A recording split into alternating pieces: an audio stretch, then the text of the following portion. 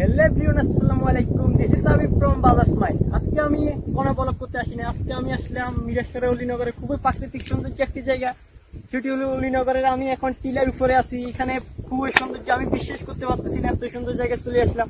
এখানে আজ কোনো ব্লগ করব না। আজ আপনাদেরকে কিছু ভিডিও দেখাবো।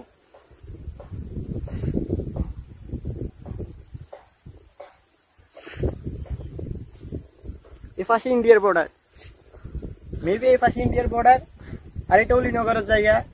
আমি দেখে খুবই মনোমুগ্ধকর আমরা এখন যে জায়গায় আসছি, সেটা হচ্ছে যে অলিনগর। এটা হচ্ছে মিরসরাইতে পড়ছে, মিরসরাই করেহাট ইউনিয়নের অলিনগর একটা গ্রাম।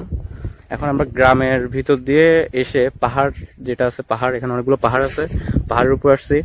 আসলে পাহাড় তো তিন ধরনের হয়, পর্বতমালা, পাহাড়, তারপর টিলা। একটু ছোট যেগুলো একদম ছোট ছোট, সেগুলোকে টিলা বলে। এগুলো আসলে টিলা। আর ওইদিকে যেগুলো বড় বড় আছে, এগুলো আসলে পাহাড়ের মতো, অনেক বড়। আর আমরা এখন যে জায়গায়, এখানে অনেক উপরে আছি, এখান থেকে পুরো গ্রাম দেখা যাচ্ছে, অলিলোর গ্রামটা। আর হচ্ছে সবুজ ধান ক্ষেত, এখন ধানের সিজন চলতেছে। সবুজ ধান ক্ষেত দেখা যাচ্ছে, সব জায়গায় সবুজে একদম প্রকৃতি, একদম পুরো চেঞ্জ সবুজ হয়ে আছে সব। আর মাঝখানে মাঝখানে কিছু বসত বাড়ি দেখা যাচ্ছে। বাসস্থান, মানুষের ঘর, অনেকগুলো ঘর আছে। আর আরেকটু সামনে গেলে একদম ওইদিকে যেটা আছে, আমাদের ওইদিকে ওটা হচ্ছে নদী একটা আছে, যেটা ফেনী নদী।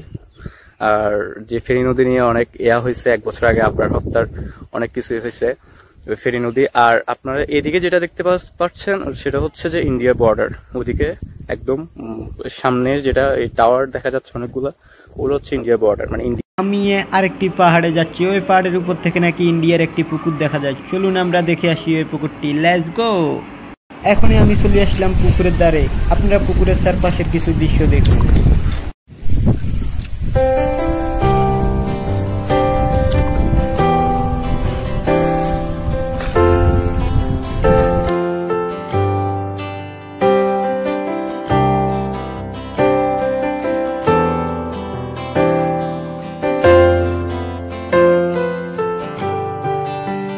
কষ্টগুলো শিকড় ছড়িয়ে ওই ভয়ানক একা চারটার সাথে স্বপ্নের আলোতে যাব বলে যখন চোখ আজকের ভিডিওটি আমি এখানে শেষ করলাম। সবাই আমার জন্য দোয়া করবেন আর সবাই ভালো থাকবেন, সুস্থ থাকবেন। আল্লাহ হাফেজ।